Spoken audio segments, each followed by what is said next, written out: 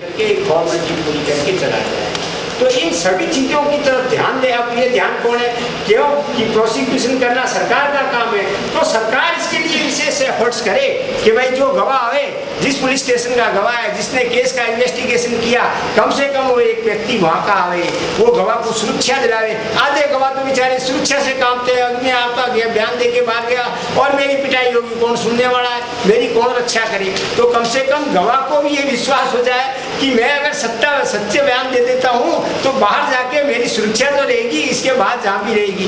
दूसरी, अब ये गवाह की सुरक्षा का हिसाब नहीं, फिर गवाह को समझाया जाए, घटना है। देखो जी, गाँव के पीड़ित अशिक्षित व्यक्ति होते हैं, ग्रामीण होते हैं, वो तो एक बात को भूल जाए तो उसको अच्छी तरह से धीरे से समझाया जाए, उसकी भाषा में समझाए। अब हम उसको हिंदी भाषा में चाहे घटना फलाता नहीं हुई वहाँ हुई मध्य में हुई, वो वो वो वो इस बात को समझता ही नहीं, हक्का वक्का वो ठीक है जी हाँ चलो ज्ञान ठीक है, शुरू हो गया। अब उसको जैसा याद है, वैसे ही कह देता है जाके।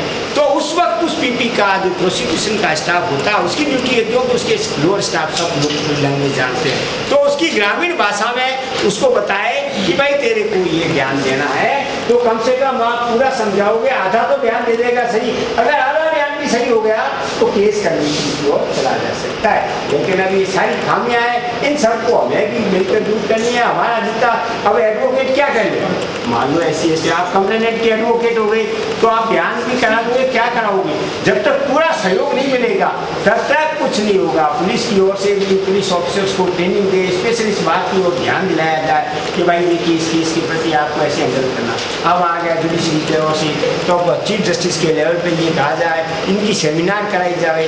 उनको कहो, भाई कुछ कमियाँ रहती है तो इन चीज़ का आप भी अपने अधिकार का प्रयोग करो जुडिशियल नोटिस ले लो, जाति लिखी हुई है और जाति की लिस्ट गजट में छपती है।